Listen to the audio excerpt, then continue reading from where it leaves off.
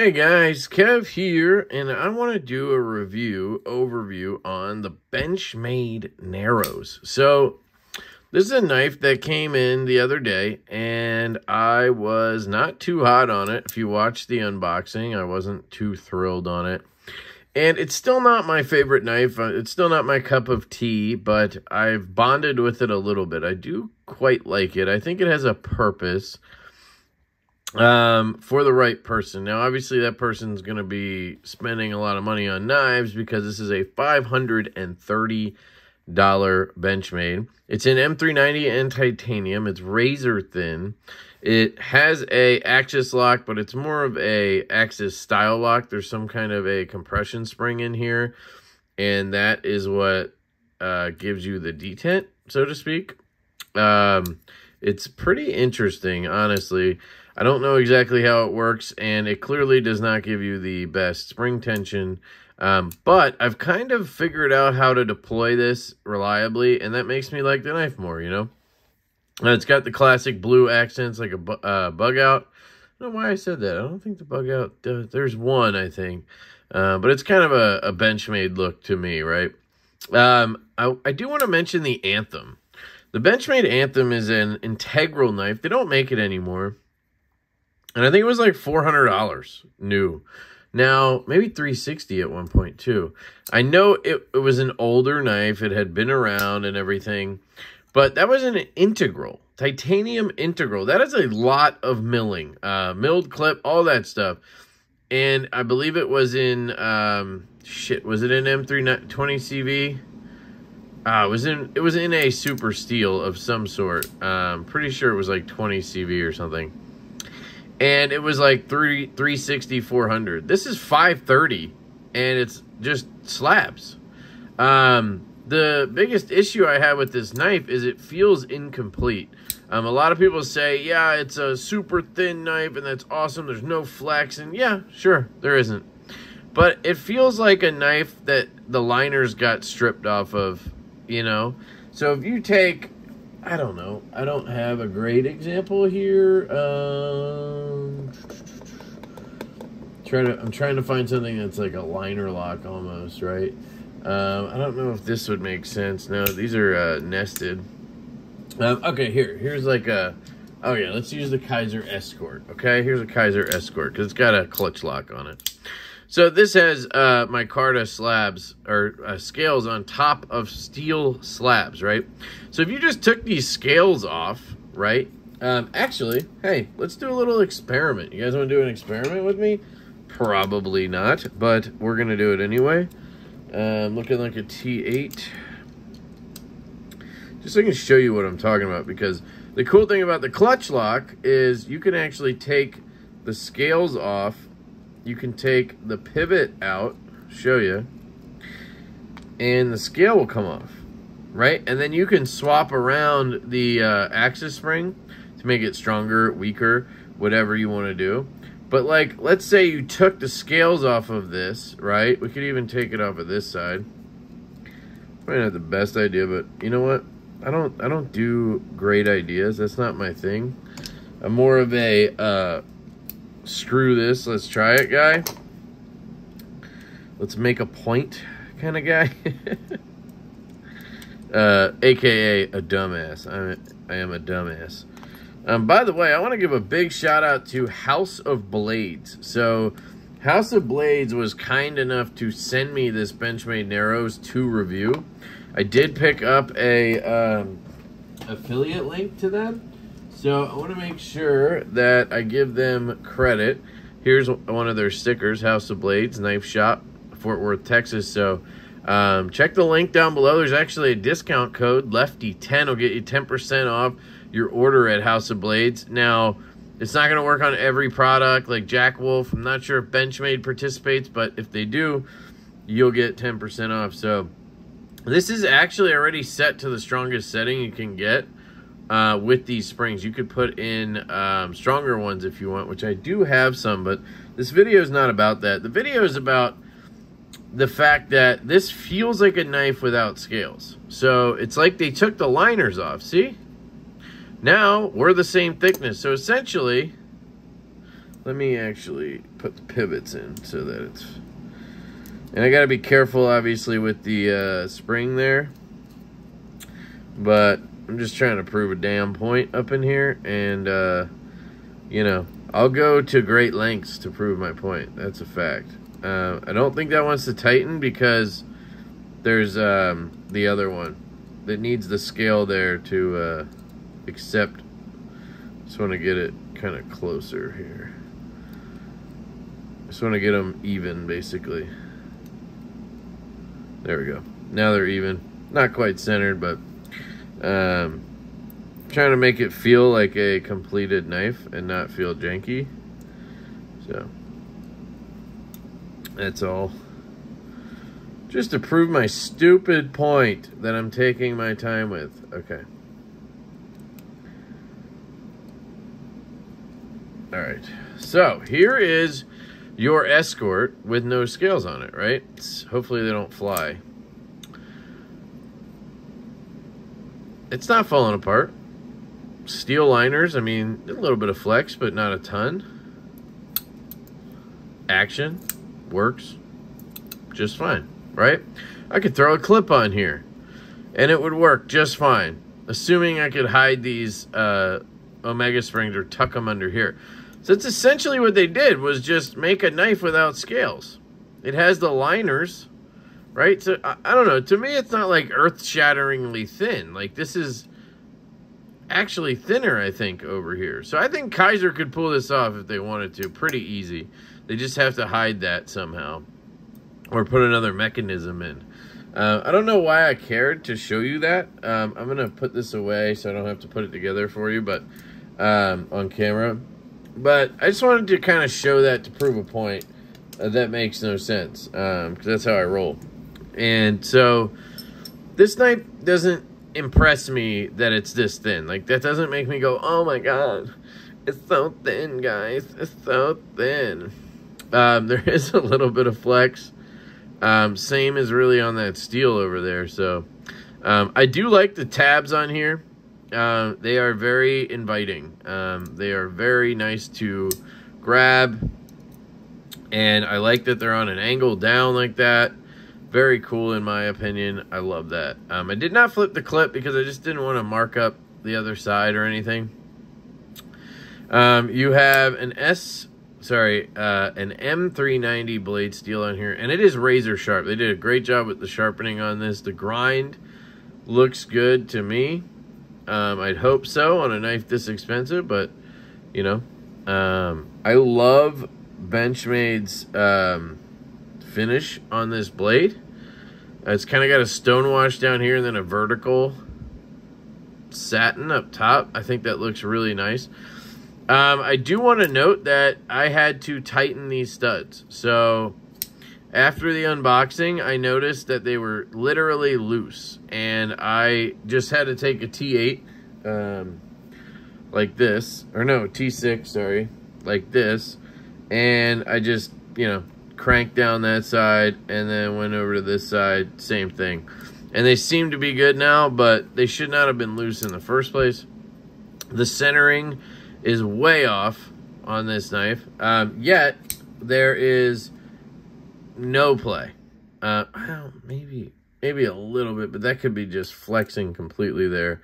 Um, so I'm not messing with that, and it is way off. So I mean, I'd have to loosen it maybe. and it depends with a with a crossbar lock, which what would happen if I tightened or loosened.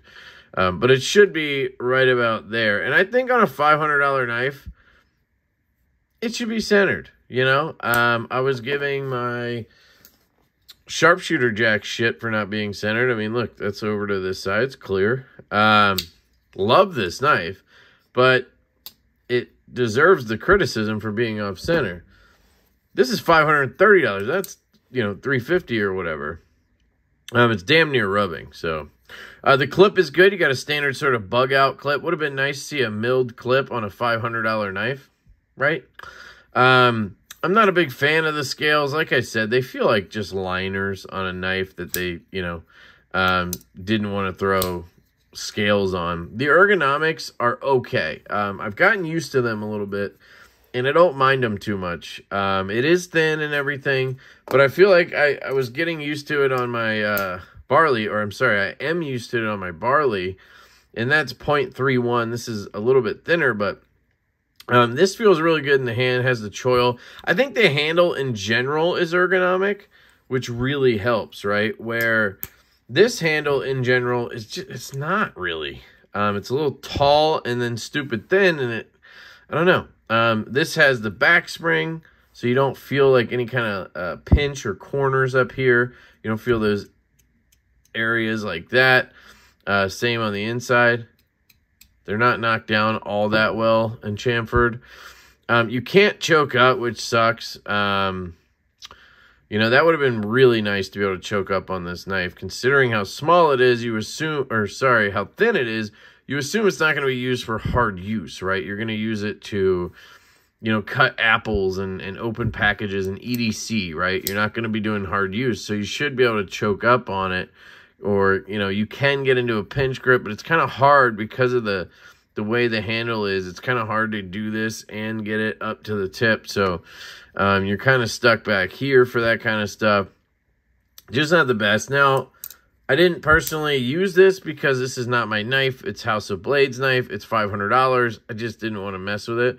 Um, but I, you know, I uh, simulated cutting and um, you know, it feels like if you had something soft, like you weren't cutting thick cardboard, you could choke up onto this point right here and kind of get through stuff like paper and whatnot.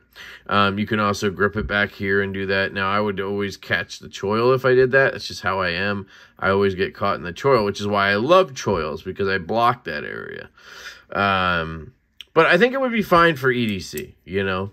Um, I just don't, it's obviously not going to be good for any type of hard use or anything like that.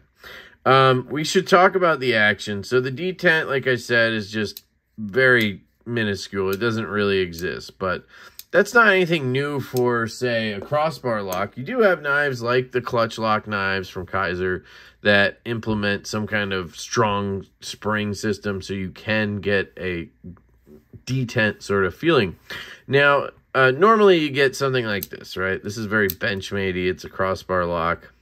Um, and you have to basically create the pressure yourself. So you have to kind of give it a wrist flick, right? This is on washers. Um, and if you give it enough gas, it'll fly out. But if you do, you know, my trick where you just kind of break the detent, uh, there's no way. It's, it's just not going to deploy for you. So you have to put some effort into it. And that's okay, right? And then closing, swing it down a little bit since it's on washers.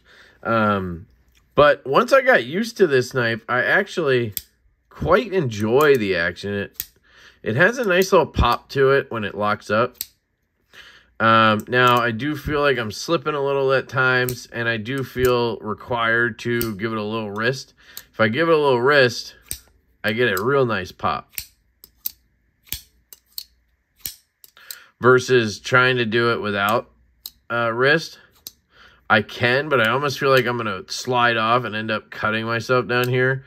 But you can do it, but you can see how weak it feels. Now, maybe someone with larger hands would be able to do it better. And if I give it enough, I can get it to do it pretty well. Uh, I'm kind of, I'm trying to go straight up, almost backwards when I flick it. Um, because if you go out, it's just nothing there. You have no spring. You have to go up and you have to try to like send it straight up, basically. Um, Left-handed, I don't have the clip to help me disengage or flip or anything, so um, it's a little different, but I can give it that little flick and the push with the thumb, and it works really well. The reverse flick, so this one took me a minute. You know, in the in the uh, unboxing, I was doing this, and like I just couldn't, you know, it doesn't have that that spring tension to really get it. Um, also, the slow roll is absolutely wonderful. It just feels really good to click that out. Sorry, again, I don't have the clip over here to kind of grab onto. So if I show you right-handed, I can grab the clip, slow roll out, and then I have the clip there to swing it down. But it just feels really satisfying. I enjoy that. So the reverse flick, I learned you just line it up line it up underneath, and you just got to go for it. Like, don't be a bitch. Don't do this. Don't try to ride it out. Just fucking be a man. You just be a man and flick that bitch. And I'll tell you, so she said, I'll tell you, when you do that, oh, it feels good. It feels very satisfying when you do that. Now, you're going to have occasions where you miss it and you do this and you're like, ah, damn it. Uh, because you're literally flicking from under the stud. Like, I'm not on the stud flicking. I mean, you can do that. I'm kind of under it and then I'm smacking the stud on the way up.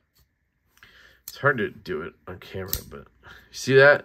Like, I'm literally under the stud when I start and then I flick through the stud. Um, this works right-handed. Again, on camera, it's harder. Um, when you're not like restricted in an area, it's a lot easier. But um, so I've kind of gotten the hang of the knife a little bit, and I don't mind it all that much in terms of the action. Um, it's not my favorite or anything, but like I could get by with this. I could get by with this. Oops. See? Um, no clip to grab. But I think there's some good here, right? And the price point is where everybody gets all riled up, right? Um, you're not going to catch me flipping out about the price. You know, I've mentioned it a couple times in the video and said for a $500 knife, I should have this or that, right? But, you know, I think that's fair. But at the same time, um, this is a rather large company in Benchmade. Um, they've been putting out knives for a long time. They have a, a pretty rabid fan base, and apparently they know what their customers will spend on knives. So if they want to charge $530 on this, go right ahead. You know, um, am I going to buy one? No, I'm not going to buy one, but someone else will. Um, a bunch of someone else's will probably buy this knife. It'll probably be a knife that uh, is a limited run, and then people will be talking about it a year from now, like it's some uh, cool ass knife, and, and, you know you'll be seeing it on the secondary for eight hundred or something. Um, and Benchmade, you know, they have to make the knives, they have to sell the knives to dealers, um, and then they have to pay their employees. They, I assume, pay their employees insurance, and they have a 401k plan and all that shit. Um, and when you have that many employees and they're making livable wages and they have insurance and benefits, well, guess what? Your product costs more. That's just how it works. Um, so, yeah, if I had this knife made, right? If you took, here we go. Let's say the Divo Knives Growler. This is made by Schenck Knives in Idaho. Four Divo knives, right? And then we're going to be selling it. And I'll, I'll venture to guess the price point is going to be similar. Uh, we might be a little under that. It might be over. I'm waiting on the quote. But I'm guessing I'm ballparking somewhere around 500 bucks. This is 530. So where are the differences here, right? Like this is MagnaCut at 63. This is M390. Both are super steels. I'd say MagnaCut at that HRC is a little more premium, a little more sought after, but I don't know if it's more expensive or anything to do, right? Um, this is titanium contoured uh, it's milled, and then it has um, a camo carbon inlay in it. Um, it's on bearings. It's a, a, frame lock or a bolster lock, however you want to put that. It has a milled titanium pocket clip. Uh, hardware from Tie Connector. I assume it's pretty sure it's titanium. Um, yeah, so you have a steel insert and everything. It's a different type of build, right? Um, on this, you have M390. You have, um, I believe, yeah, it's titanium hardware. Um, the clip, I don't know how they do the clips. I don't know if they're titanium. Maybe they are titanium. Are they? No, that's steel. Uh, so I don't know how they do that. But uh, whatever. It has the axis bar lock. It's not contoured. It has standoffs versus a titanium backspacer. Again, it has a steel clip, kind of throw-on clip versus a milled clip. Um, but, you know, you're in the same ballpark. Premium steel, titanium handle, right? Titanium hardware. Um, both are going to be around 500 bucks. So we don't have employees We don't have insurance to pay for and benefits and all this other shit.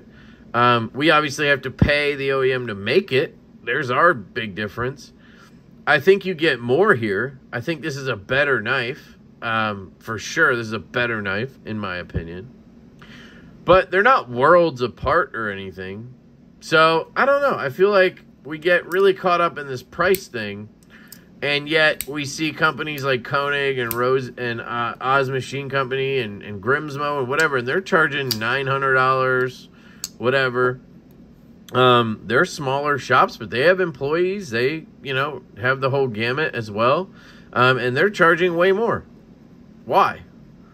Well, their product is better. They have more that goes into it. They have contouring. They have um, probably better steel, better heat treat on the steel. I don't know about that. Um, better grinds, right? Better finishing on stuff. Uh, more and uh, more intricate hardware and, and things like that. Backspacers instead of standoffs. Milled clips instead of steel.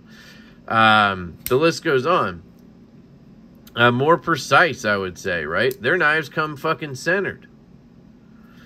So, I, I just think that the, the this price is way too high thing is just a, I don't know. I don't think it's that high.